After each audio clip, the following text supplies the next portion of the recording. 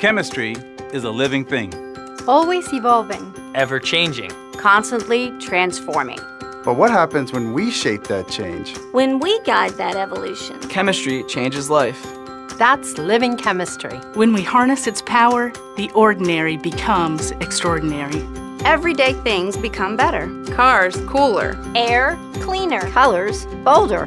Life is simply better. Because living chemistry propels progress. It changes lives. Shapes markets. Makes manufacturing more efficient.